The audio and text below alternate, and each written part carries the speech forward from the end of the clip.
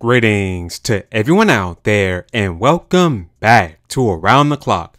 As a nice surprise, Nintendo has reopened the eShops for the 3DS and the Wii U for the sole purpose of redeeming download codes for games that you've already purchased. As you can see here on Nintendo's support page, it states this in the gray area. Important, as the feature to redeem download codes was disabled earlier than scheduled, we've extended the ability to redeem download codes until approximately 9.30pm Pacific time on April 3rd, 2023.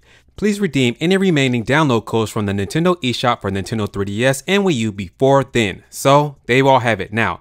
Again, this is only for the sole purpose of redeeming download codes for games that you've already purchased. And you can do this from now until 9.30pm Pacific time on April 23rd. That's around 12.30am on April 4th, 2023. With that being said, that's going to do it for this video. And please, don't forget to like, share, and subscribe. And as always, remember to keep it locked here at Around the Clock, where here, we focus on Nintendo news content around the clock. I'll catch you guys in the next video.